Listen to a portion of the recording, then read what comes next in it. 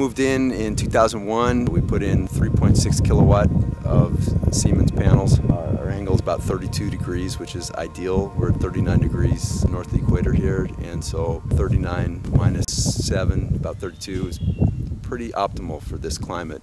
So we get about nine months out of the year of good sun. Made sense to turn into a grid-tied system. Until battery technology gets to be 90% efficient lithium-ion battery, it's still going to be better to be tied into the utility. You can be tied into the utility and use the utility for your advantage to sell back to them and use them as an infinite battery. That is the best way.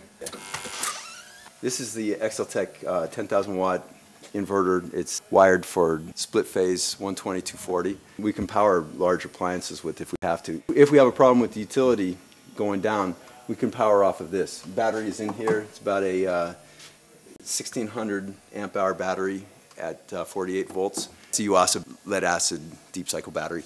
It's made to last about 15 years.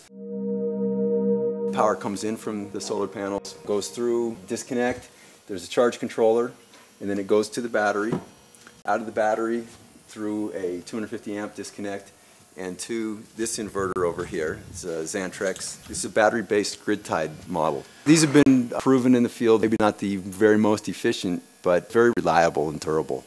They required us to add an extra grid-tied interface. It allows us to sell back to the utility. We have transfer switches. We can transfer from the utility to the photovoltaic inverter. We knew somewhere down the line there were going to be electric cars, maybe even fuel cells. So we're wired in such a way that we can power the whole place off of a car that has a fuel cell in it. There's a pigtail down here that allows us to plug in with 240 volt AC power to run the whole show.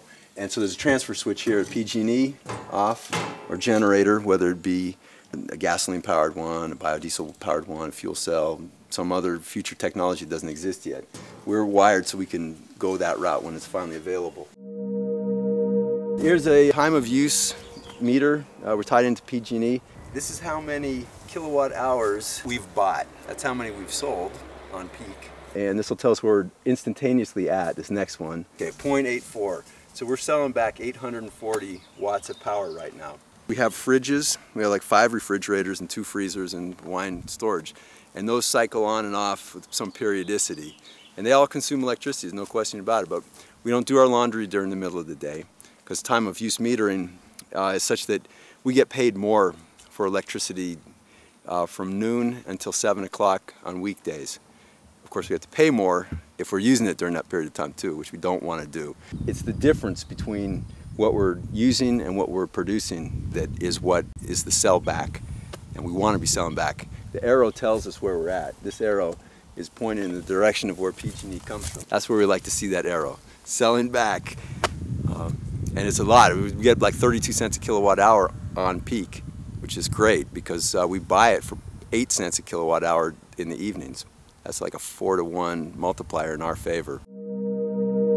We heat our water, domestic hot water, with the Heliodyne solar flat plate collector, taking the heat of the sun and making hot water. It's about 70% efficient compared to the solar panels, which are maybe 15% efficient. It's, it's a better investment. I mean, not to do one or the other, uh, both are best, but if you can only afford one, hot water is actually the first one to do. I started living with solar actually in 1991. The technology works, no moving parts, very elegant, very sustainable and long lasting.